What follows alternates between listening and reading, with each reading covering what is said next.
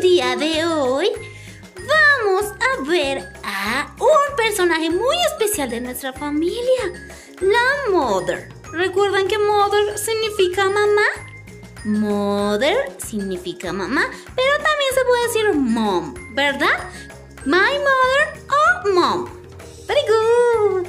Pues vamos a abrir primero nuestro English Book en la página número 53. ¿Listo, chicos? En la página número 53 vamos a encontrar a nuestra mother. Algo así. Nuestra mother. Y van a mirar abajo en la parte de abajo. Dice, she is my mother. She, que significa ella. Is, que significa es. My, que significa mi. Y mother, que significa mamá. She is my mother. Ella es mi mamá. ¿Listo, chicos? Y van a pegar la foto de su preciosa mamá ahí en el cuadrito que está ahí abajo. Eso es. Y van a realizar la página, van a colorearla bien preciosa. ¿Listo, chicos?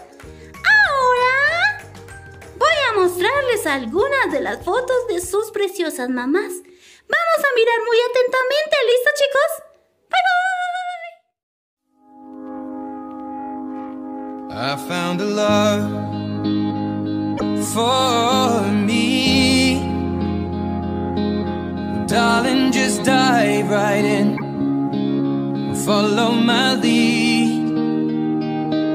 Well, I found a girl, beautiful and sweet. Well, I never knew you were the someone waiting for me. Just kids when we fell in love, not knowing what it was. I will not give